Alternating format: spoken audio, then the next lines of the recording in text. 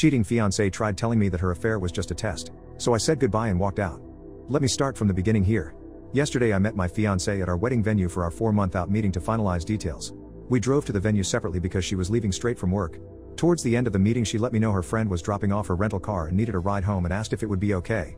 I said yes, thinking nothing of it as it wasn't that far from our home and I know her friend well. I get home and tried to get in touch W her for the next three hours. No answer. At approx the 1:30 mark, I texted her friend and asked if she had made it to her okay. I was very worried. My fiance ends up coming home and says sorry it took longer than expected. She hung out with her friend for a bit before leaving. Okay, no biggie, just LMK next time, please. Her friend gets back to me a few minutes later and says sorry I couldn't make it to the venue, didn't see your fiance tonight. I asked her why she would say this and she said she didn't know she can't control what her friend says and walked outside. I'm sketched out AF by this point. I've never done this but I looked at her phone records, yes I did and don't regret it.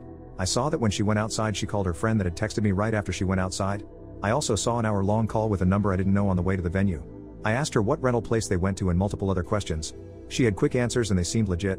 I thought maybe I'm crazy here I need to chill and sleep on it. This morning I asked her to please see the text from her friend asking her to pick her up and I would apologize for questioning her the previous night. She said no. I said when I caught up to you yesterday on the way to the venue I saw you were on the phone who was that? She said oh that's the friend I picked up later on. That's when I knew for a fact she was lying. I said I looked at her phone records and knew that wasn't true. She then changed her story to say oh I needed to meet up W a coworker to discuss a patient. Who is the coworker and why couldn't you discuss that over the phone? I need to show him the techniques in person his name is Michael. Okay I am sketched out beyond belief at this point we never lie to each other. I asked to see the text with Michael. She said wouldn't let me see. I said why not if there's nothing to hide? Are you having an affair? Do you not want to be together anymore? She pauses and proceeds to tell me all the things that are wrong with me. I work too much I don't spend enough time W her don't listen. I'm astonished at this point all of this is news to me. I put two and two together at this point I know something sketchy is going on. I again asked to see the texts. It took about a half hour of convincing to see these texts and they were crazy. Sexual in nature and talking a lot of shit about me. Also how she wanted to be with him and how they're essentially in love. She started this job 1.5 months ago. He is her coworker. He is also 15 20 years older and divorced W multiple kids. I have been financially supporting her for the last few months as she got back on her feet and was working extra so she wouldn't have to pick up a part-time job. We own a house which we both live in with three dogs and a horse. Sorry for the novel I am beside myself right now. I did not see this coming and we were going to get married in 4 months. Any advice would help.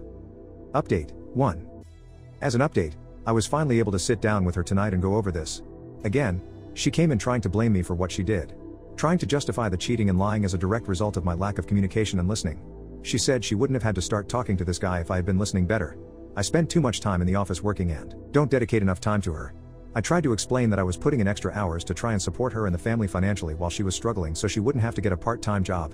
She said she would have rather gotten a part-time job which makes no sense to me.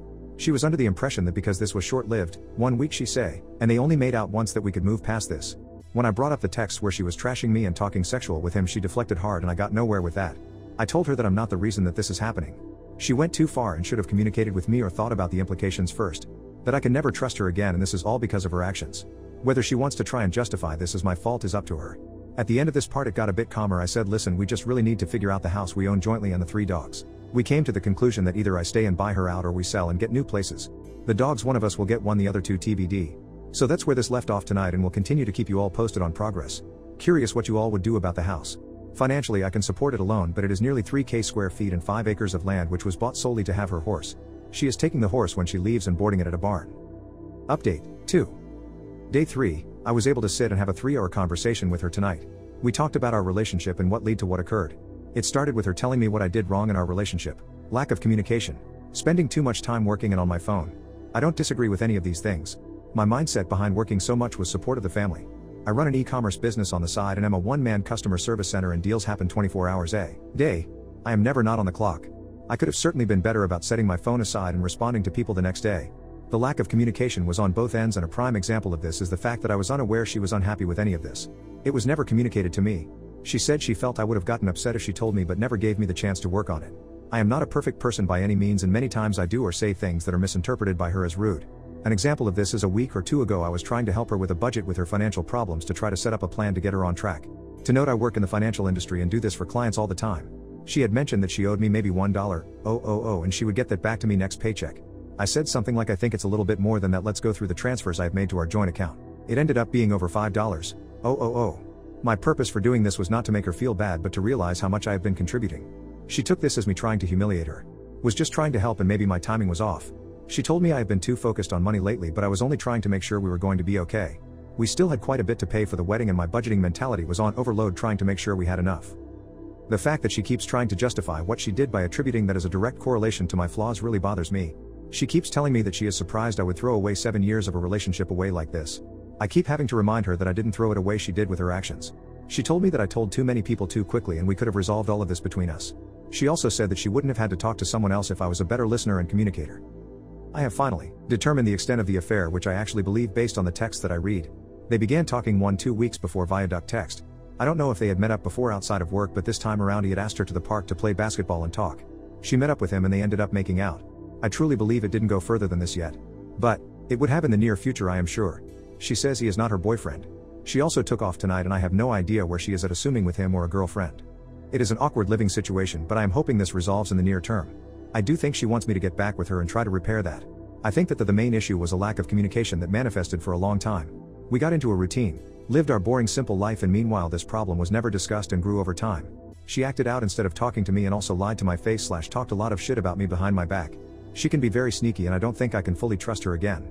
Obviously this would be the easiest thing to do but I don't think I would ever be truly happy. Understanding the root cause has helped me feel better. If nothing else, it will allow me to address my personality flaws slash communication issues and see things from another perspective. I started hitting the gym today and will keep a routine going. I also plan on picking back up on studying for my CFP designation. I took the week off of work to focus on my mental health. Today I called the wedding venue and officially canceled the date. We were able to get some money back but lost a bit unless the date can be resold to another couple, unlikely. I also spoke with her parents again to keep them apprised. They live far away and I am sure are worried sick. I continue to let them know everything is fine and calm and they don't need to worry about their daughter. I did some research and with interest rates where they are today, I will not be able to find a comparable house for the mortgage I pay for this, can barely find an apartment for less nowadays. I think my best option is to try and buy out her share and have her find an apartment. She seems agreeable at this time. We will have an appraiser out to assess value and see what half of the equity would be and if that is doable for me. My questions to you all are Does this change your mind at all about the situation? Am I handling this properly? If not, what should I be doing different? Update 3. It's been nearly a month since this whole situation went down and I owe you all an update. Has been a very busy, emotional and eventful month.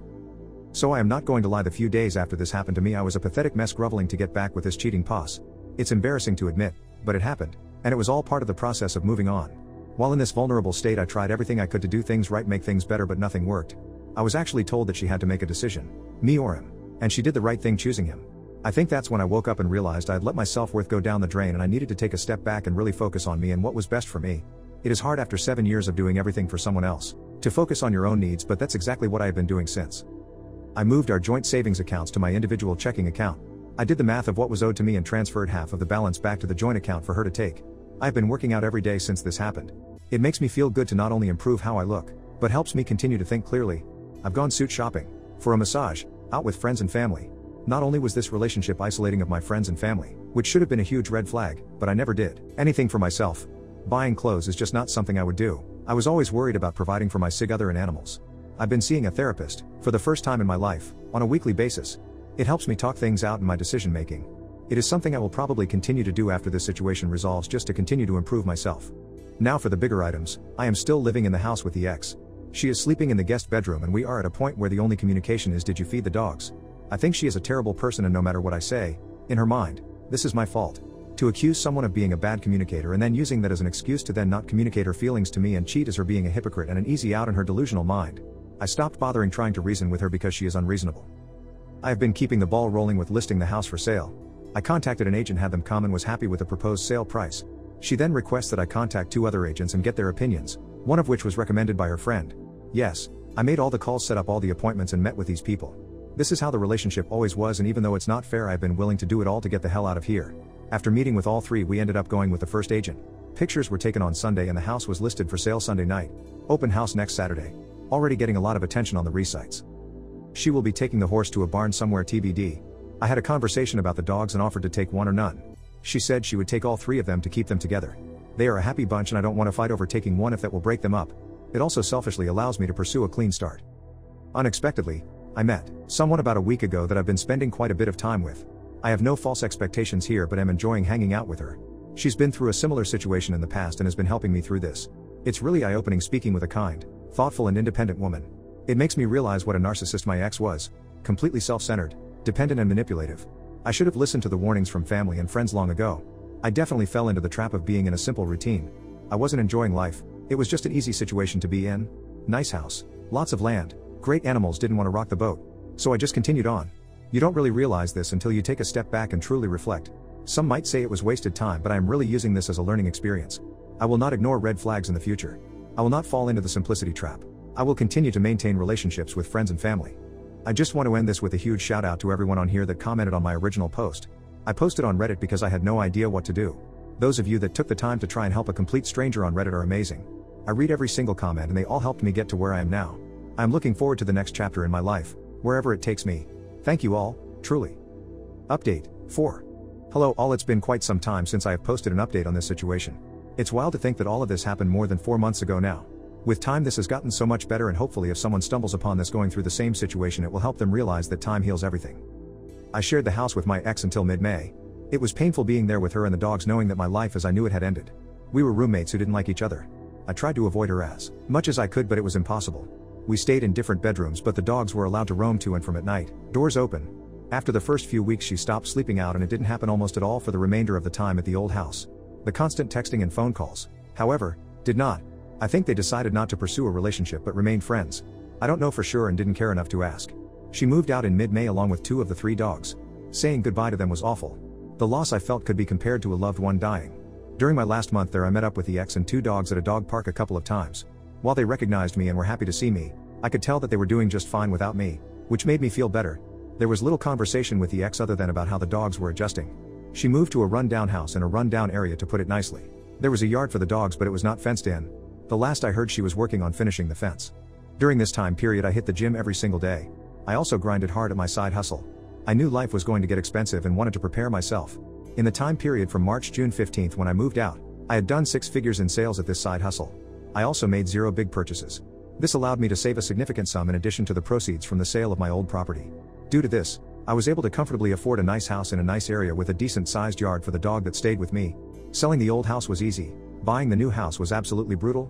Thankfully, the buyers of my old house allowed me to rent it back from them for a month until 615. I made offers on a total of 5 houses and finally got the last offer accepted towards the end of May. It is really nice being out of the old place. The memories associated with that house haunted me every day. Especially after my ex left with the other two dogs, it was just very empty. Moving was a pain, but friends and family came in clutch to help with it all. I have now been here a little over a month and it is feeling more like home daily. I am still seeing the same woman, who is now my official girlfriend. I live a bit closer to her now, which is nice. She treats me really well and I am very lucky to have her in my life. She helped me get through this situation and has been very cognizant and accommodating relating to my need for space and my emotional ups and downs. I've never been with someone who communicates so well and it is making me a better communicator myself. My emotional intelligence has also grown significantly. Overall, life is good. While this was one of the hardest things I've had to go through, I feel blessed that it happened. I was going to marry a completely self centered, ungrateful boss, I was so comfortable with my daily routine and didn't want to disrupt my animals' lives or lose my house. So I was willing to put up with being miserable. I will continue working on myself and learning more about my own wants and needs. I will also continue to provide my dog with the best life possible. I do think about my ex regularly, lots of flashbacks of good and bad memories. My new therapist has been extremely helpful helping me realize that I probably won't ever get the apology from her that I want. She's just too proud to admit what she did was wrong. Communication with my ex has been very limited. I don't plan on seeing her or the other two dogs again. I've accepted that is what is best for everyone. If I missed anything you have questions about, please feel free to post a comment and I'll be happy to answer. This situation is over at this point and I won't be making any more posts on the subject. Thanks for following the saga and for all the support through the process.